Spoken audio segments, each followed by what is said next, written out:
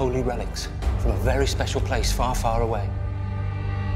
They are born of dark magic. They have the power to change the world as we know it. Don't lose them. Whatever you do, don't get them wet.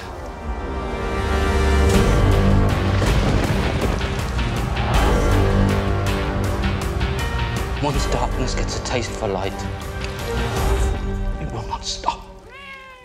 What?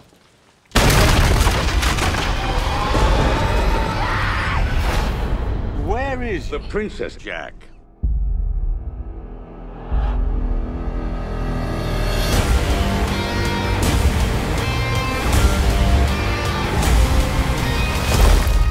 Something grabbed her.